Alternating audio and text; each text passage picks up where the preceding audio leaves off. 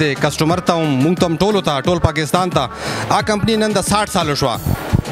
او پاکستان که تاسو وګورئ پاکستان نن 14 اګست به ان شاء الله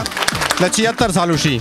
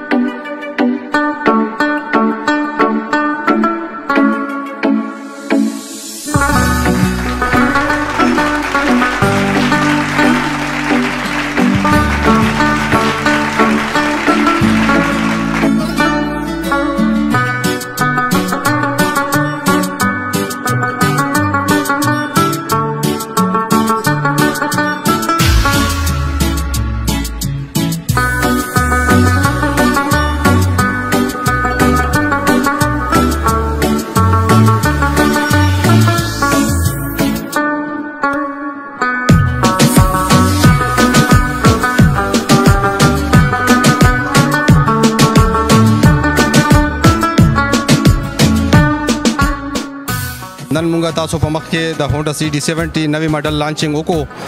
کدی ماډل ته تاسو وګورئ نو د پسټیکر کې زموږه لیکل شوی دی 60 ایئرز اف د نیشنز رائټ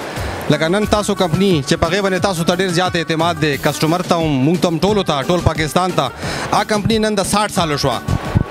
او پاکستان کا تاسو ګوره پاکستان نن 14 اگست به ان شاء الله د 76 سال شي او په دې کې تاسو په د بینر کې تاسو ګوره په دې کې زموږ یو څو تصویران ورکړی شوی دي په دې کې تاسو ګوره درې نسلونه جنریشن ټو جنریشن یعنی نسل در نسل د سی ډي 70 ماډل مونږه پاکستان کې استعمالو کپلار استعمال کړي دي نو هغه نه پس دغه زوی استعمال کړي دي بیا هغه نه پس المسی استعمال کړي دي د 70 د هونډا سي ډي 70 نوې ماډل چې د کنده به ان شاء الله تاسو په دې لکه کې کامیاب وای